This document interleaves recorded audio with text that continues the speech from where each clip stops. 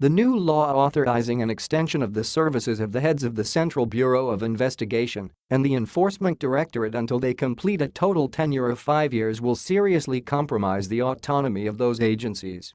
It goes against the spirit of the Supreme Court judgment in Vineet Narain v. Union of India, 1997, which laid down a dictum that the directors of the CBI and the ED should have a minimum tenure of two years this was to prevent their sudden transfer out of office if their functioning goes against the interests of the regime of the day.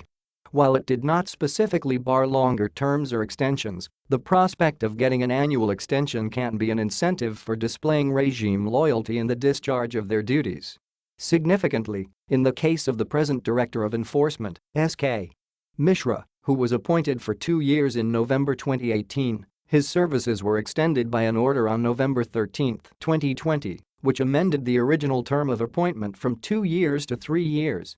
That the changes were brought in through the ordinance route in November raises a doubt whether the government is keen on retaining him at the helm. Given that the central agencies have drawn much criticism for their focus on personages linked to opposition parties, such a measure will be seen as a reward for guided functioning instead of a necessity to keep ongoing investigations on track. As it is, the fixed tenure for certain posts means their superannuation within that period will not end their term.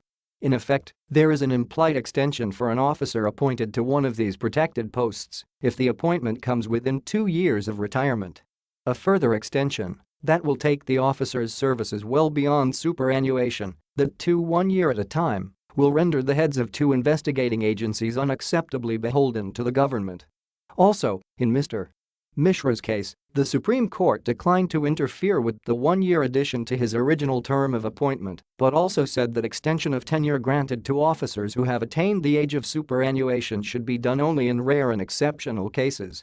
And that the further extension should only be for a short period. It also made it clear that no further extension shall be granted to him. It is possible that the government will abide by this order and not give the benefit of the amendment to Mr. Mishra, but it does not render the act of authorizing year-on-year extensions to future appointees any less detrimental to the public interest.